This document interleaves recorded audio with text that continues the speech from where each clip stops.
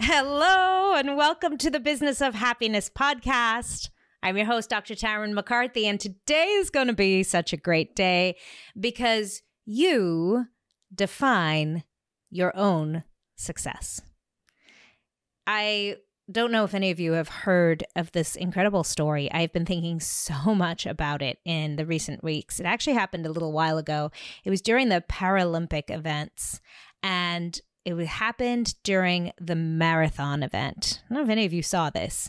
This incredible woman, the all these women, incredible, just phenomenal. But actually, it wasn't the person who won the Paralympic marathon. It was the person who came in third who made the headlines. Her name is Elena Congost, and she's from Spain, and she's blind. She was born with a genetic disorder that robbed her of her vision, and she runs with a support runner, which is completely allowed in the Paralympics for blind runners. And the way that they do this is they actually have a little rope so they're tethered to somebody and they have this little rope and each the only rule is that the other person holds on to their end of the rope and the runner herself is holding on to her end of the rope and you can't let go. And you're running and and that's the guide so that you don't run into things or go off course. And oh she ran a phenomenal race. It was so imp- impressive to watch her. And 10 yards from the finish line her support runner his name i think his name is mia Bruguera. I'm not sure about that. Also, a phenomenal runner himself. Her support runner, 10 yards from the finish lines, his legs started cramping and he actually started to fall. And she reached over to grab under his arm to hold him up. And in that split second, let go of her end of the rope. I mean, it was if you watch it, you can look it up on YouTube. It is such a split second that you really have to rewatch it a couple times to even notice it. But she just went to grab for him to help him. And then they, you know, stumbled to the finish line and he made it through and she made it through and she got the bronze. And it was a big, exciting event and, you know, so heroic, phenomenal. This a woman who, by the way, she won this event in 2016 and she took seven years off of running to focus on starting a family. And in that time, she and her husband had four children. and she's come back now to run this event again. And she got bronze. It was amazing. It was incredible. And yeah, she was disqualified. She was disqualified. Can you believe it? That simply because she let go of that rope for a split second was hard to even witness, she was disqualified. And you know, they went back to the judges and they tried to appeal the ruling because she didn't cheat. There was no cheating. She was being a human being. She was being kind and compassionate and caring and grateful. And somebody who was helping her was hurting. And she went to help him. And not every runner runs with a guide who they have to pay attention to and be aware of. It's just so crazy to me that we hold these standards for ourselves of what we think success looks like.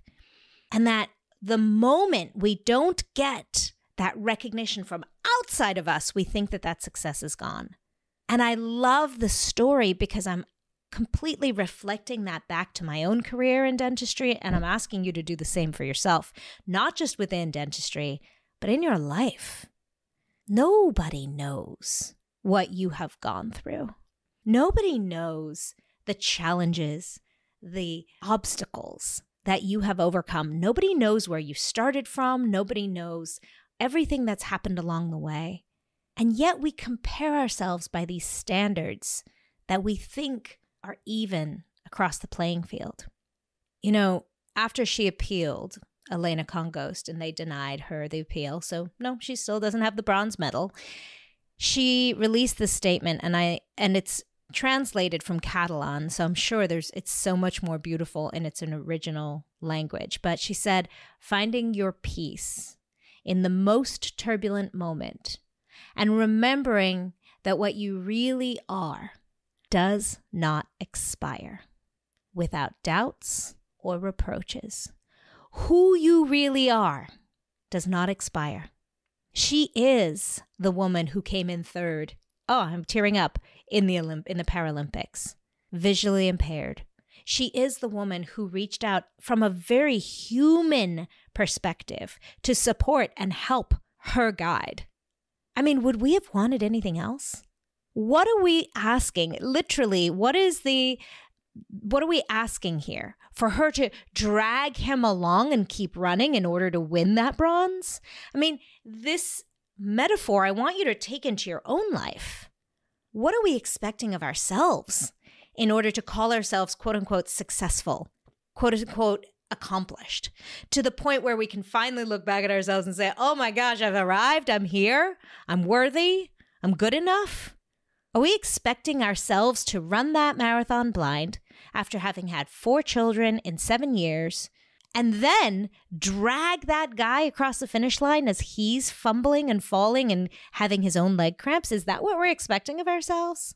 Would that be a win in your book? So often we're looking to others to define our success or even just how we feel about ourselves. I mean, when do you do this in your everyday? Think about for a moment how often we put the way we feel about ourselves in the hands of the temperament of our patients in that any given day.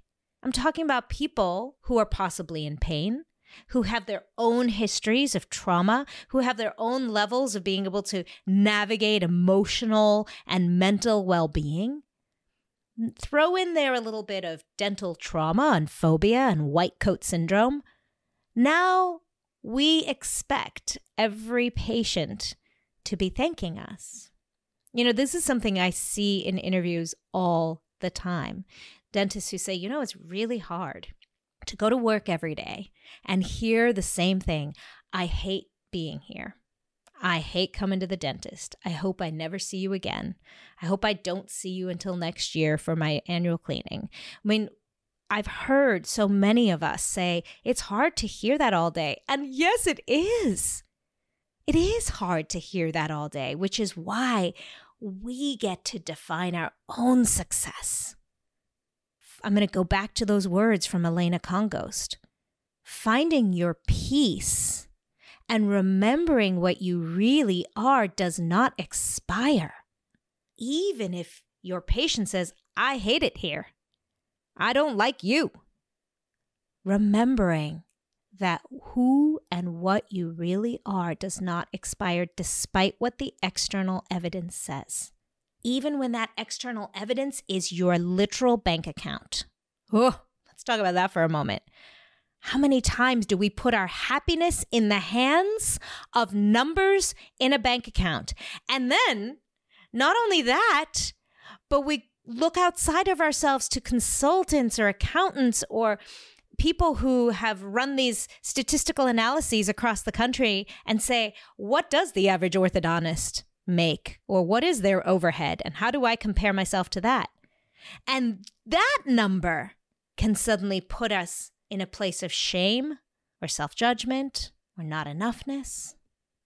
Let's think about some other moments in time where we put our self worth and how we see ourselves and whether or not we feel successful or worthy in the hands of other people. What about in the hands of your team? How many times are you creating your own idea of success about who you are, of worthiness about who you are, of enoughness about who you are based on your team members? I mean, we get this a lot. It makes so much sense that you would because we really value being good leaders, especially right now in the space where the buzz on the street is that it's hard to get good help, right? It's hard to keep. Retention is a buzzword for dentists right now. How do we keep team members happy?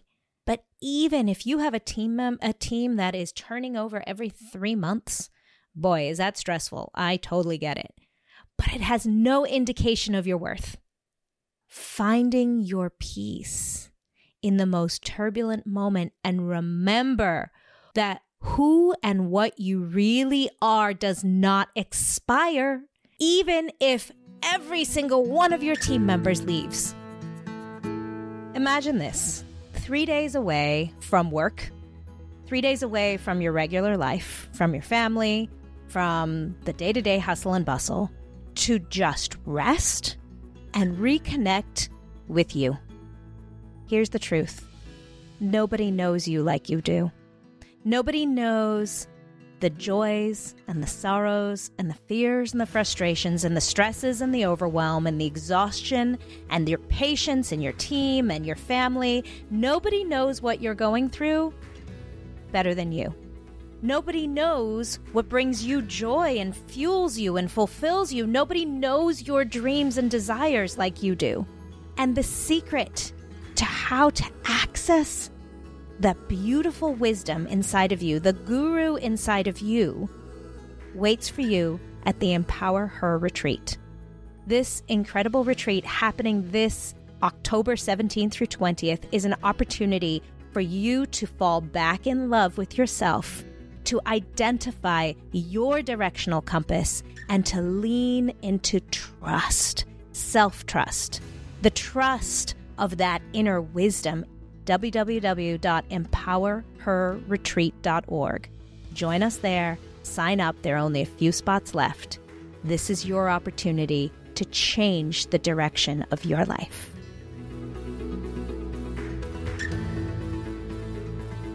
Boom. Now let's talk about how often we put our sense of self worth in the hands of our family or our friends or our community. People who are not living our lives every single day. Nobody knows what you are going through. Nobody knows the years that you've passed over the past 10, 10 years, decade, two decades, three decades. Nobody knows what you've gone through and the challenges that you've had to face. Nobody knows that you had four kids in seven years and now you're running the Paralympics blind and this gentleman's calf is failing. So, why? Why don't we remember? It needs to be a constant reminder. And that's what I'm here to share with you today. You get to be the hero of your own story. And it has to be that way because we have to be the ones to remind ourselves because we are the only ones that know. When we reach for comparison outside of ourselves, we feel bad. When we look to arbitrary rules or standards, like this one of the Olympics, it misses the humanity within us. And that's the most important thing. You are not a robot, and you don't want to be. You want to have feelings and experiences. You want to experience love and pain and grief and heartache and joy. We need to and we get to experience all of those beautiful human emotions because before we are dentists, we are humans. We forget that when we talk about ourselves as dentists. Just like this Olympian, she was not recognized for her humanity. She's doing incredible things. The Olympic Games are to identify people who represent their countries in athletic feats that are outrageous beyond what the average man and woman can do. She did it. And she was not recognized for the very human component of who she is. But you get to. You get to remember that for yourself. You get to remember, as she said, that who you are does not expire. And reminding yourself that you get to be the hero of your own story is so important because only you can write that book. Only you can write that book because only you know what you've gone through. So, what does that look like? It looks like remembering to celebrate yourself. I don't know what Elena did after the Olympics, but I sure as hell hope she threw herself one hell of a party. One incredible celebration, worthy of the entire country attending, because she deserves that recognition. And why does self celebration work so well? It works because biologically, when we celebrate ourselves, even with just a pat on your own back or a recognition. Tarryn, you did an amazing job today. Do you know how far that goes? Biologically, you give yourself dopamine, serotonin, even oxytocin is released. You give yourself the feel good chemicals that we're all chasing every day. You get to do that for yourself simply by self congratulating. And that judgment that we put on ourselves for that, right? Like, oh, I shouldn't, I shouldn't. It's selfish. It's weird to say congratulations to myself. Oh my gosh, can we let that go? Can we just drop that? Because if you can give yourself permission to celebrate yourself on a regular basis for the big and the small things, you are such a better dentist. You are such a better leader. You are such a better parent. If we can just let go of that one weird little judgment about ourselves, that self celebration is selfish or wrong or weird, I don't even know. Sophomoric? seems like something an infant needs. No, you need it. What is another reason you need it? Because it boosts your sense of self significance. And significance is one of the six basic human needs in human needs psychology, along with growth and stability and variation and contribution.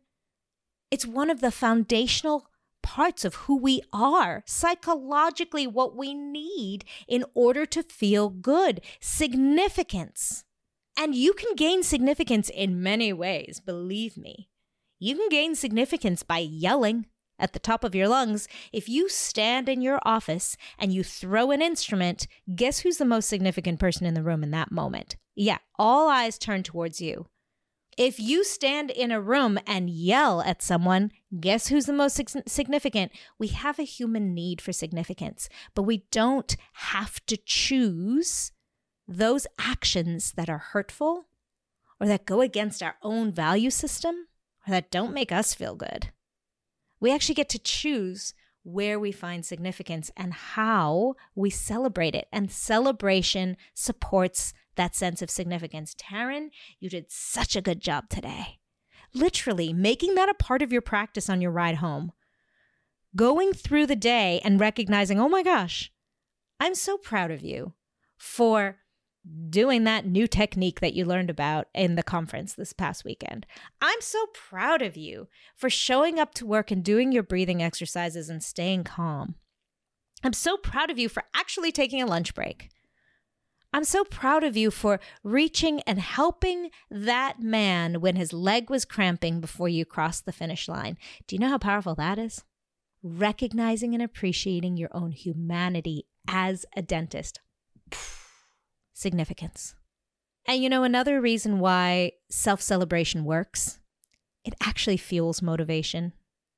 This is why when kids are learning to walk, we we clap and we go, "Oh my god, good job, good job, good job." When you're a baby learning to walk, do you know how scary that is? You have no core strength. You have no leg strength. Actually, babies, some of them have really good core strength. what, am I talking about?